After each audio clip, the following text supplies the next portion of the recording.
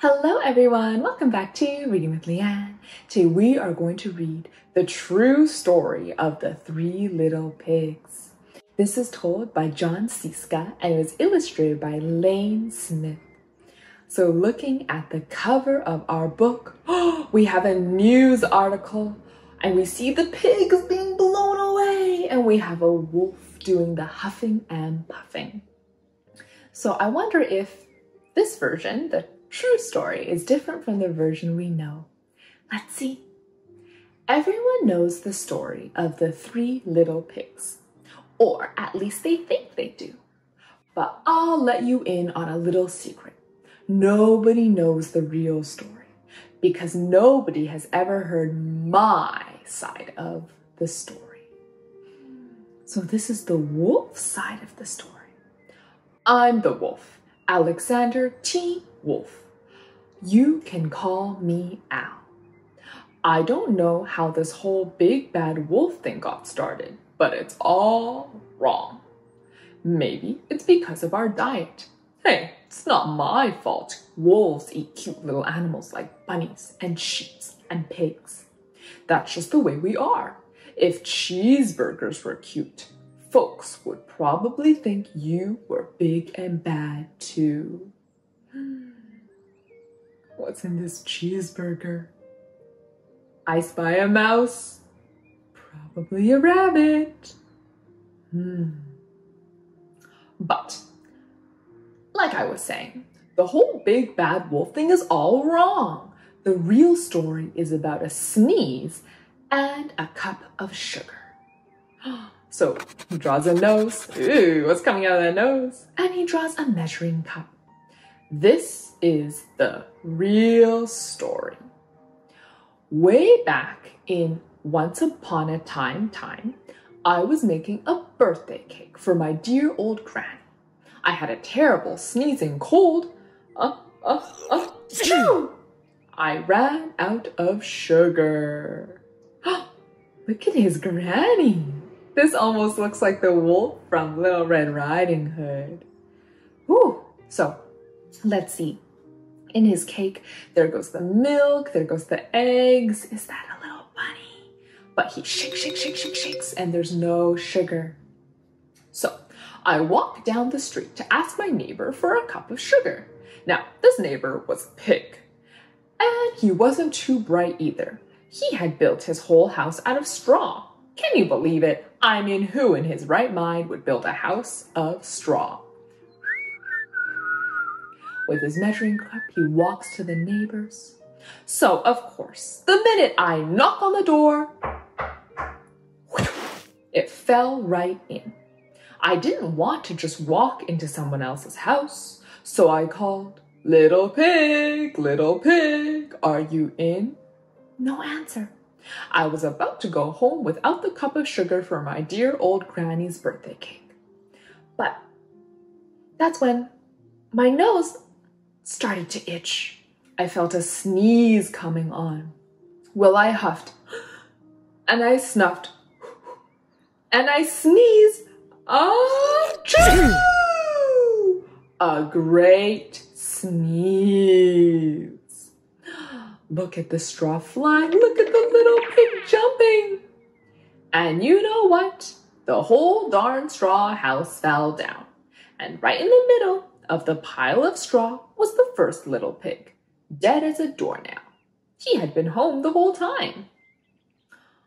It seemed like a shame to leave a perfectly good ham dinner lying there in the straw. So I ate it up. Think of it as a big cheeseburger just lying there.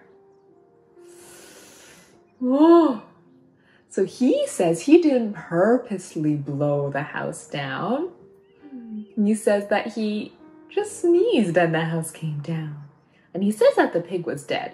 I don't know, was the pig dead or was the pig hiding? I was feeling a bit better, but I still didn't have my cup of sugar, so I went to the next neighbor's house. This neighbor was the first little pig's brother. He was a little smarter, but not much. He had built his house of sticks. I rang the bell on the stick house. Nobody answered. I called, Mr. Pig, Mr. Pig, are you in? He yelled back, Go away, wolf! You can't come in.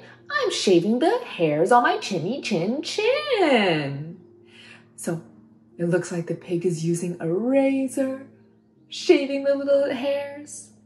I just grabbed the doorknob when I felt another sneeze coming on. I huffed, I snuffed, I tried to cover my mouth, but I sneezed. A great sneeze. And the wood goes flying, the pig goes flying. And you're not going to believe it, but this guy's house fell down, just like his brother's. Hmm. When the dust was cleared, there was the second pig, dead as a doornail. Wolf's honor. Hmm, curious. Look at the wood that fell. Doesn't it look like a spoon and a knife and your two forks? Is this pig really dead or is it hiding? I'm not sure. It's undetermined, but he eats the pig. Now, you know food will spoil if you just leave it out in the open. So I did the only thing there was to do. I had dinner again. Think of it as a second helping. I was getting awfully full. Look at the wolf's tummy. But my cold was feeling a little bit better, and I still didn't have that cup of sugar for my dear old granny's birthday cake. So I went to the next house this guy was the first and second little pig's brother. He must have been the brains of the family. He had built his house of bricks. I knocked on the brick house. No answer. I called Mr. Pig, Mr. Pig, are you in? And you know what that rude little porker answered. Get out of here, wolf! Don't bother me again. Oh, look, he's looking through the peephole. Talk about impolite. He probably had a whole sack full of sugar, and he didn't give me one little cup for my dear sweet old granny's birthday cake. What a pig! I was about to go home and maybe make a nice birthday card instead of a cake when I felt my cold coming in. I huffed. I snuffed. Achoo! I sneezed once again. Then the third little pig yelled, and your old granny can sit on a pin.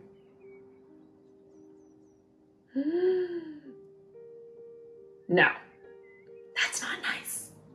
Now, I'm usually a pretty calm fellow, but when somebody talks about my granny like that, I go crazy.